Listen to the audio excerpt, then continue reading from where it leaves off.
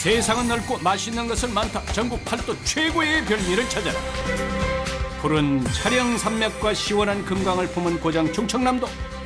그 중에서도 지역적 특색을 담은 독특한 음식으로 사람들의 눈길을 사로잡는 금산과 공주. 충남의 특색 있는 별미를 맛보러 지금 출발합니다. 홈리스 코리아 팔도 식도락 여행 충청남도. 특별한 여름 보양식을 맛볼 수 있다고 해서 찾아온 충남 금산. 그런데 별미를 찾아 도착한 곳에 먼저 눈길을 사로잡는 게 있었으니 바로 고비고비 흐르는 시원한 금강. 보기만 해도 더위가 싹 가시네 그래. 아, 물이 시원합니다. 아 여기서 물고기로 잡은 맛있는 저기 음식이 저쪽 가면 있거든요. 한번 가보세요. 그러니까 돈 주고도 살 수 없는 경치를 자랑하는 이곳에 우리가 찾던 바로 그 별미가 기다리고 있다고라? 어디 보자. 이건 혹시 금산의 대표 별미 어죽? 아, 칼칼해서 맛있어요. 여름엔 이걸 먹어야 힘도 돋고 좋아요. 건강에 최고예요. 금산의 향토 음식이자 여름철 보양식으로 즐겨 먹고 힘이 불끈불끈 난다는 어죽의 비밀은 바로 맑고 깨끗한 금강에서 잡은 이 녀석들 때문이라는 거. 빠가하고 매, 저거 메기하고 쏘가리 또 붕어 그렇게 자자 어죽에 들어갈 민물 고기도 준비됐으니 이제 어죽의 기본인 육수를 준비할 차례. 민물고기 빠가사리를 넣고 양파, 통양파, 마늘, 뭐 이제 팥뿌리 이렇게 하고 된장 이렇게 해서 이제 압력밥솥에 삶고 육수를 내리고 다시 한 2시간 정도 이제 더 끓인 그런 이제 육수. 이렇게 정성껏 끓인 육수에 미리 불려놓았던 쌀과 국수까지 푸짐하게 넣고 거기에 어죽의 얼큰한 맛을 살려줄 갖은 양념과 채소를 넣어준 후 마지막으로 금산의 특산물인 인삼까지 올려주면은 든든한 보양식 인삼 어죽 완성. 이어서 만들 음식은 프라이팬에 작은 생선이 빙 돌려져 있는 신기한 음식. 도리뱅뱅이에요 이게. 한번 이제 튀겨서 살짝 구워서 수분을 빼고 냉동실로 들어갔다가 다시 한번 튀겨내오는 게 이제 도리뱅뱅이. 바삭하게 튀긴 도리뱅뱅이에 매콤 칼칼한 초장을 골고루 발라주면 인삼 어죽과 찰떡궁합을 자랑하는 또 다른 향토 음식 도리뱅뱅이 완성. 여기에 금강에서 잡은 민물고기를 듬뿍 넣어서 시원한 국물 맛이 그만인 민물 매운탕까지. 그런데 이 집만의 비법이 있다고요? 살아있는 고기로 이제 끓인다. 그거가 이제 제일 중요한 비밀입니다.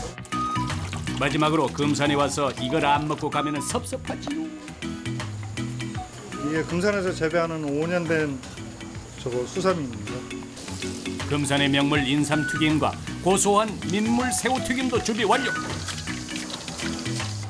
이제 금강이 내려다 보이는 경치 좋은 곳에 앉아서 줄줄이 나오는 푸짐한 금산의 별미들을 맛볼 차례. 우선 사포닌이 풍부한 인삼까지 넣어서 더 영양 만점인 어죽부터 한 입 맛보기 시작하는 손님들. 텁텁해가지고 국물이 아주 진하고 맛있어요. 거기에 매콤하고 바삭한 도리뱅뱅이까지 먹어보는데 맛이 어떻습니까? 고소하고 쫄깃하고 맛있어요. 아, 이렇게 경치 좋은 데서 먹으니까 더 맛있는 것 같아요. 계속해서 금산의 별미를 찾아 나선 제작진. 널찍한 마당 안으로 들어서니 한쪽에 가득하게 쌓여 있는 장작과 줄지어 늘어선 커다란 가마솥이 눈에 들어오고 이 안에 뭐가 들어있을까 궁금해하던 찰나 뚜껑을 열어 그 안을 보여주시는데 아, 사골 육수고요. 소 머리뼈하고요. 사골하고 도가니하고 우조. 이렇게 들어가서 졸여요. 커다란 가마솥에 아낌없이 듬뿍 넣은 사골로 24시간 우려낸 진짜 육수 그 정성이 가히 대단하다 끓이는 거는 보통 한 번씩 끓일 때마다 두시간 반씩. 그래서 총 네번을 졸여서 넘겨요. 그런데 이 귀하게 끓인 육수를 다른 가마솥으로 옮기는 사장님 지금 뭐 하시는 거래요? 이쪽에서 졸여서 받은 물에다가 소 혀라든가 소 머리 그런 걸 같이 삶아내기 때문에 고기 자체도 더 맛있고 국물도 더 진해요.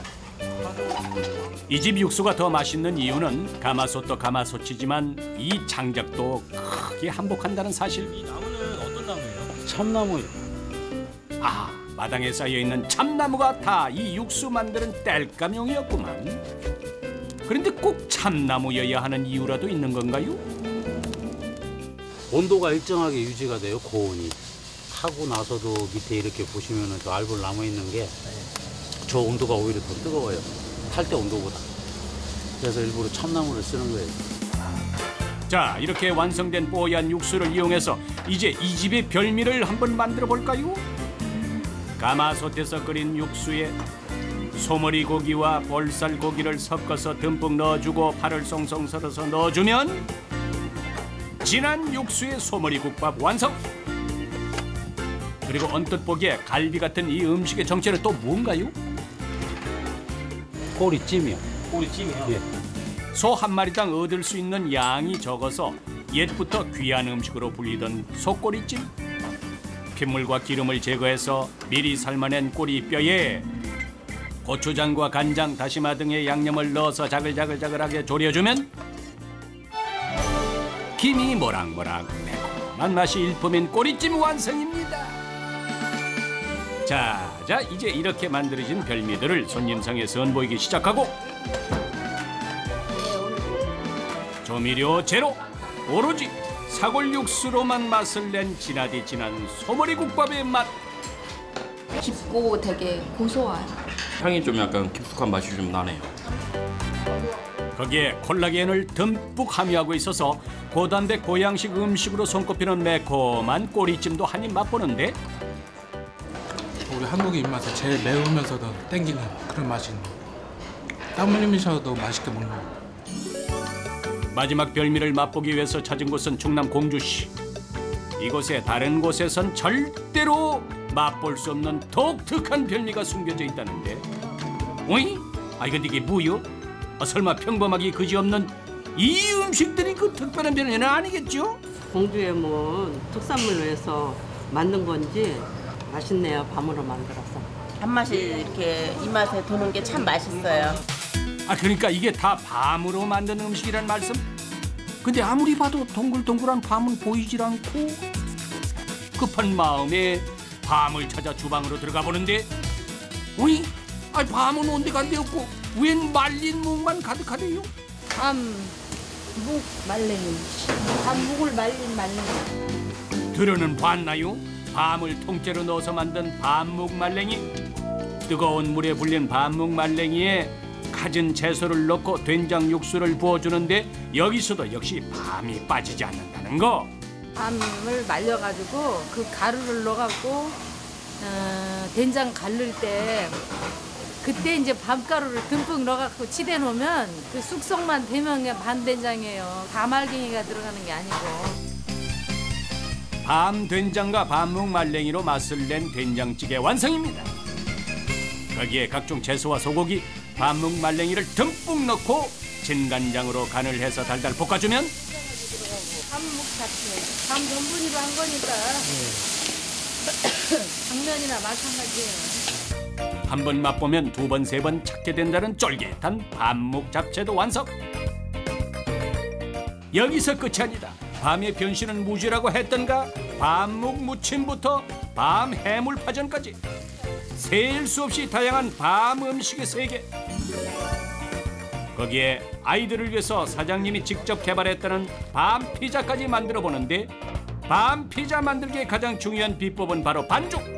우선 쌀가루와 밤가루를 섞어서 피자 도우를 만들어주고 그 위에 햄부터 시작해 소고기, 밤묵 말랭이 그리고 밤 전과까지 토핑을 듬뿍 올려준 후 오븐에 들어가서 7분만 있으면 잘 익어갖고 맛도 좋게 나오겠죠. 아이들의 영양 만점 먹거리 밤 피자도 완성. 비타민 C가 풍부해 피부 미용과 피로 회복에 그만인 밤으로 만든 다양한 음식들. 아 맛있다. 다른 곳에선 맛볼 수 없는 밤 음식 그 맛은 어떤가요? 더 부드럽고 담백하고 쫄깃해요. 훨씬 더 맛있는 것 같아요. 어른들 입맛은 사로잡았고 그렇다면 아이들을 위해서 만든 밤 피자는 과연 어떤 평가를 받을까? 쌀가루랑 밤가루랑 같이 섞어서 만들어서 느끼하지 않고 담백하고 피자 도우도 쌀이 들어가서 더 고소하고 토핑도 밤이 들어가서 맛있어요.